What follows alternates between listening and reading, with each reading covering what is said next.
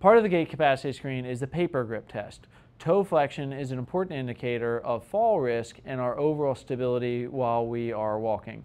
So the test is done by taking something that is not going to rip when you put it under the big toe and then pull out.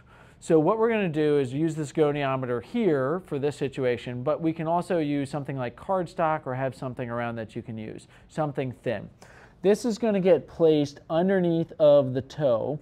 And then what we're going to have, the examiner is going to come, and while the person pushes the toe into the ground, we're going to assess if you can remove with a moderate amount of force, can you get that out?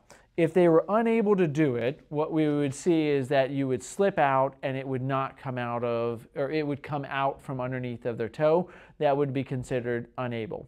If they are able to maintain the paper or goniometer in that with uh, your moderate amount of force, they would be considered able and we will test both sides.